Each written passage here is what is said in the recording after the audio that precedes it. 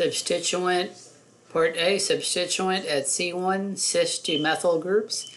So at carbon 1, methyls are up, and up at carbon 1 is up at carbon 1 is equatorial, down is axial. So this must be equatorial.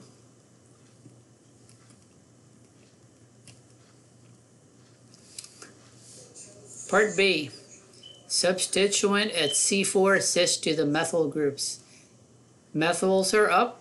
At C4, up is axial, down is equatorial. So up is axial.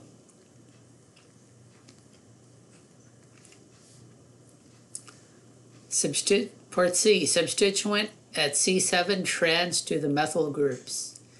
The methyls are up and trans to the methyl down. So down at C7 is axial, up is equatorial. So this must be axial. Part D, substituent at C11 trans to the methyl groups. At C11, down is equatorial, up is axial, trans is down, so it's equatorial. And E, substituent at C12 is cis to the methyl groups. Methyls are up.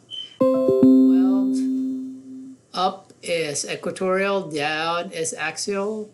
So cis is up, up is equatorial.